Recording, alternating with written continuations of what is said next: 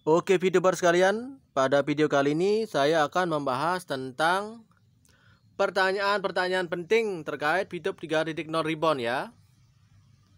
Pertama, bagaimana jika verifikasi email belum berhasil? Jawaban, tidak apa-apa, selesaikan saja dulu misi harian Anda. Nanti baru dicoba lagi. Para admin pun belum semuanya berhasil verifikasi email. Dua, aplikasi VTube-nya mana nih? Jawaban, aplikasi dapat dibuka melalui website resmi yaitu ptube.co kemudian klik download.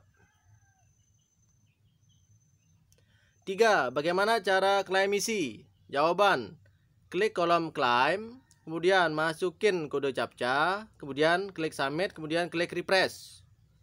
Empat, bagaimana cara upgrade ke akun bisnis? Jawaban, silakan klik pengaturan, kemudian klik akun bisnis, kemudian ikuti langkah-langkah selanjutnya. 5. Bagaimana cara bergabung di grup KBVI? Jawaban, silakan hubungi salah satu admin yang bertugas pada bagian entry. Adminnya sebagai berikut, at leader arogan, at eko cr29, kemudian at su g4, kemudian at horas 6. Mengapa tidak bisa masuk exchange counter? Jawabannya, exchange counter buka mulai jam 9.00 sampai dengan 24.00. Silahkan menyesuaikan waktunya ya. 7. Bagaimana cara melihat berapa jumlah iklan yang sudah ditonton? Jawaban, silahkan klik pada bagian Ads Program. Selanjutnya, untuk aktivasi Pius program, pastikan jumlah Pius mencukupi. Silahkan convert dulu dari PP ke Pius. 10. Apa kelebihan kita upgrade ke akun bisnis? Bagaimana kalau kita tidak upgrade? Jawabannya, dengan mengaktifkan akun bisnis, maka kita bisa pasang iklan.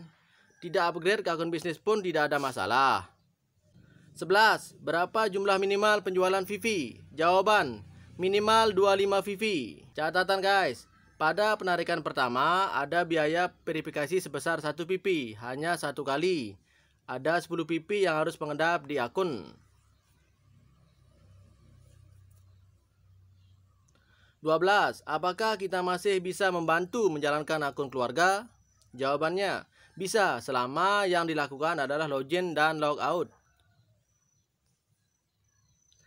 13. Apa itu log view pada menu video 3.0? Jawabannya, Log view adalah untuk menu yang Pius sudah di log dan tidak dapat dikonversi ke VV dikarenakan Pius sudah digunakan untuk memasang iklan.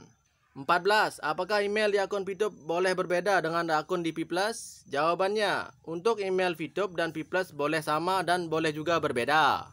Oke guys, sekian video kali ini. Terima kasih.